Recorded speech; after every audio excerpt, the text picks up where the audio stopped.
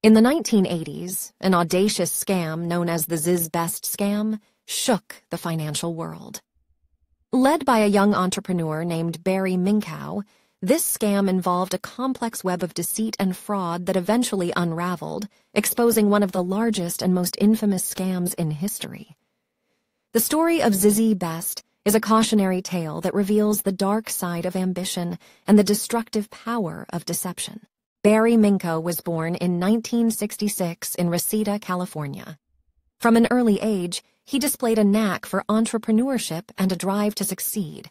At the tender age of 15, Minkow founded ZZZZ Best, a carpet cleaning company that would later become the center of his fraudulent empire. In the early years, ZZZZ Best appeared to be a legitimate and successful business. The company offered carpet cleaning services and quickly gained a reputation for providing high-quality work. Minkow used this initial success to attract investors and expand his operations. However, behind the scenes, a darker reality was unfolding. As ZZZZ Best grew, Minkow began to orchestrate an elaborate scheme to deceive investors and lenders. He created a network of fictitious customers and forged financial documents to inflate the company's revenue and profitability.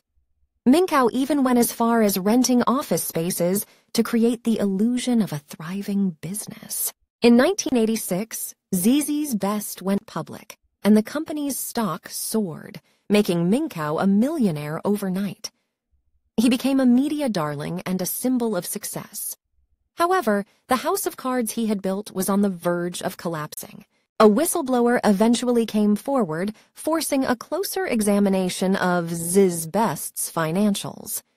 It was then that the cracks in Minkow's empire started to show. Investors and auditors discovered the fraudulent activities that had been taking place behind the scenes, and the stock price of ZZZZ Best plummeted. The aftermath of the ZZZZ Best scam was swift and devastating. Barry Minkow was arrested and charged with multiple counts of fraud, leading to a lengthy prison sentence.